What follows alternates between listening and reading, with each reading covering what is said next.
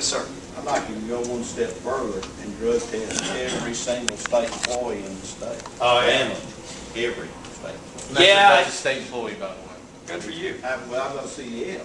All right, get them a cup. We've had No, I'm since the early nineties, but I mean, every state. Yeah, I, I, I agree with that. There's